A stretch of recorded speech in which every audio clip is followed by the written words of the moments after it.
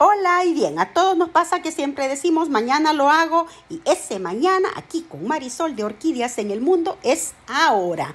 Vamos a desmalezar mi jardín, vamos a fertilizar para follaje nuestras plantas, algo práctico, simple y sencillo. Ya todos ustedes saben, si es primera vez que está viendo uno de mis videos, le invito a que revise otros. Déjeme su like y coménteme. En las plantas que tengo en el suelo y en las macetas, yo usualmente le quito la maleza o mala hierba cuando ya sé que han brotado la mayoría de plantas que tengo cultivadas en determinada área. La maleza son plantas que nacen ahí, pero no realmente las hemos sembrado nosotros y por eso es que yo realmente no las quito tan rápido porque necesito ver hay plantitas que realmente a mí me gusta tenerlas ahí, aunque sean plantas silvestres, así es que me gusta ver qué tipo de maleza, de mala hierba es y así la voy arrancando poco a poco. Vea, este es el área de jacintos, tulipanes y otras plantas de bulbos también. Entonces yo espero que todas ellas estén ya grandes y así le voy arrancando la maleza poco a poco a manera de irlas dejando limpias para que ellas tengan oportunidad de seguir creciendo y florecer bellísimas. Mire, tulipanes y narcisos también. El detalle es que esta vez se me pasó y se me creció demasiado, así es que ahora voy a arrancar todo eso y obviamente algunas plantas se me van a venir, pero las voy a ir sembrando conforme las voy sacando porque toda esta área de acá son cebollitas, ¿verdad? Mire, aquí se me salió una ya. Y de todas maneras tengo ya tulipanes que ya tienen, ya están en botoncitos. Mire, precioso. Por lo general yo quito toda la maleza a finales de invierno, cuando ya sé que va a iniciar la primavera. Entonces ah, empiezo a quitar toda la hierba mala de macetas y plantitas. Mire, cosa más bella.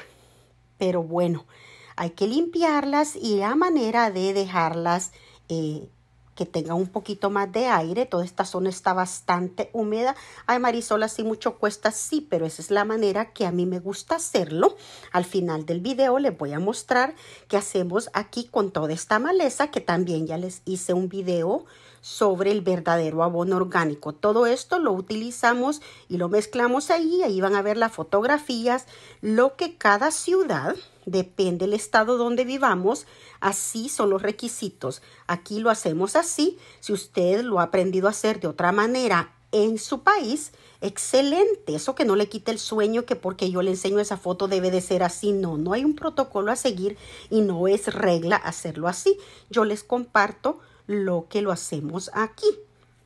Mire, Ay, qué vergüenza, cómo están de llenas de maleza. Mir, todas las macetas tienen muchísima mala hierba, pero así yo ya puedo diferenciar más rápido que cuando están empezando a brotar, que van saliendo todas las plantitas del adormecimiento, la mayoría de bulbos y de eh, tubérculos, mire, o raíces también Mire, así bien fácil se distingue y se pueden quitar con más facilidad. Se limpia, eh, pienso yo, más fácil. Mire qué hermosas quedaron. Listas para seguir con su proceso de floración. Ya ellas ya brotaron y ahora lo que queda es fertilizarlas. En este caso, yo fertilizo como ellas tienen mucho follaje. Si sus plantitas tienen follaje bastante, entonces usted en primavera la, o antes de que inicie primavera, perdón, las fertiliza para floración. Pero si usted necesita más follaje, entonces pone fertilizante para follaje y la siguiente semana fertilizante para floración.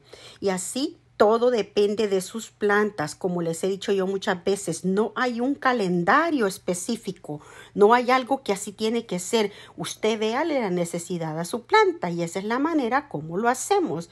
Así todos aprendemos y cuidamos nuestro medio ambiente. Mire, acá lo pongo yo en una gondola que la vienen a recoger semanal. esta gondola la llevan a los lugares donde hacen el verdadero abono orgánico o composta. Y aquí en las fotos nos dicen que podemos depositar cualquier tipo de hierba seca o fresca, pescado ya comido o sin comer, huesos, carnes, pastas, todo lo que sobra que no sea plástico, cáscaras de vegetales, de frutas, papel ya usado que no sea papel higiénico, no se puede depositar eh, heces de animales. También ponemos cáscaras de huevos. A las rosas y a todas las plantas que podamos, que les realizamos una poda X en determinada fecha, ustedes saben que yo podo la mayoría de mis plantas en otoño o después de su floración en otros casos. Yo no tengo un calendario especial de decir en determinada fecha. Siempre y cuando yo decido salir con mi tijera pácatelas a podar después de floraciones, conozco bien mis plantas y sé cuándo ya terminaron de florecer y ya no van a seguir floreciendo. Así es que vea, en este caso ella ya empezó a echar sus nuevos brotes. Aquí es el momento en que nosotros las rosas. Revise mi video sobre la cal. Es importante forrarles el tallito cuando ellas empiezan con los nuevos brotes de cal. Así es, es el óxido de cal. No es calcio. El calcio no tiene nada que ver con la cal. Y ahí en mi video se los explico también y se las enseño. En algunos países la cal lo utilizan para cocinar maíz o cocinar otras variedades de comidas. Vean, las rosas empezaron ya con sus nuevos brotes. Esta y esta otra eh, hortensia, vea, ya empezaron con sus nuevos brotes. Así es que en este momento yo en una macetita pequeña o en un depósito pequeño, mire, así están las hortensias ahorita.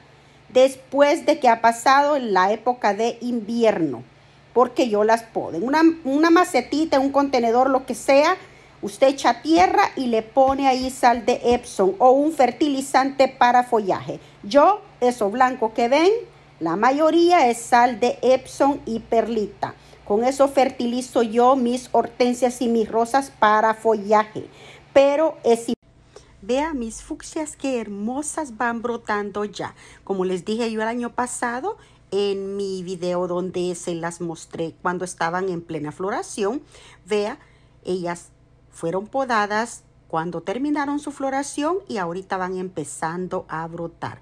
En esta etapa de la planta es cuando nosotros tenemos que echarle en las macetas fertilizante para follaje o para que nazcan sus hojitas, vea, ya están creciendo, para que las hojitas se hagan verdecitas y sus floraciones sean con esos tonos vivos y preciosos. Ustedes saben, utilizo la sal de Epsom, que no es más que sulfato de magnesio, también conocida como sal inglesa. Y también utilizo para floración cualquier abono. Yo no le digo nunca marcas porque usted está en cualquier país del mundo. Usted consigue el abono para floración que usted necesite. Vea mis lupins, ya van despertando también de su reposo a un lado están los crisantemos que también van despertando bien. Eh, vea, mire Lupín, preciosísimo. Este es el rojo. El morado y el azulado todavía no han brotado porque están en tierra firme y en la tierra todavía está bastante frío. Vea, mis crisantemos están brotando despacio y temprano. Mire cómo va esta hortensia, es la que sembré yo, solamente los bastallitos. Y mire qué preciosa va.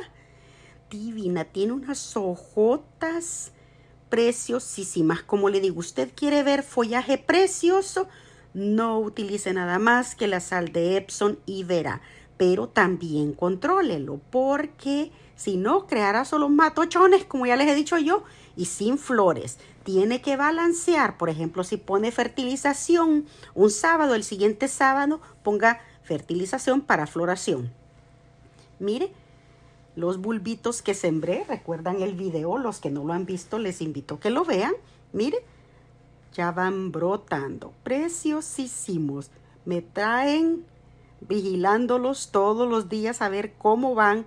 Y bueno, los de una maceta, mi perrito travieso, que ustedes ya saben, me lo sacó. Pero van como unos 15 preciosos. Esta matita que se ve acá seca es una perenne que todavía no ha brotado parecida a las margaritas. Mira, acá puede ver todas las plantitas de bulbitos que sembré. Todas van naciendo ya preciosísimas. Saludos especiales a todos, un abrazo fraternal en la distancia. Recuerde, estamos con el lema quédese en casa si usted no es un proveedor de salud pública. Un abrazo a todos.